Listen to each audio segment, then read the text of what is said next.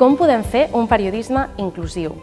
En aquesta situació d'aprenentatge analitzarem quines limitacions tenim les persones a l'hora d'accedir a la informació, identificarem les barreres que trobem a la biblioteca del nostre centre i crearem una notícia en diferents formats perquè sigui inclusiva i pugui arribar a tothom.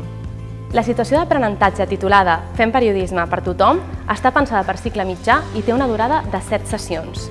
El primer que farem serà jugar a tres jocs tradicionals que coneixeu tots i totes, però que tindran algunes normes per vincular-los amb els aprenentatges d'aquesta situació d'aprenentatge. Mentrestant, part de l'alumnat tindrà el rol d'observar la missió de notar el que està passant. A través d'aquestes dinàmiques ens sensibilitzarem amb les necessitats de diferents col·lectius. Després, en grups reduïts, analitzarem les limitacions que trobem a la biblioteca del nostre centre. Ens posarem a la pell de persones que tenen una discapacitat visual, auditiva, motriu o intel·lectual i des d'aquesta perspectiva ens fixarem com aquestes persones poden accedir a la informació.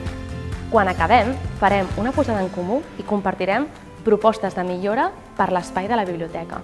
Amb tota la informació que hem anat recollint, redactarem una notícia per compartir a la comunitat educativa les necessitats i les limitacions que hem descobert sobre l'accés a la informació i les nostres propostes de millora. Per últim, ens dividirem en grups i adaptarem la notícia en diferents formats, com per exemple àudio, vídeo o imatges per fer-la inclusiva i accessible per a tothom.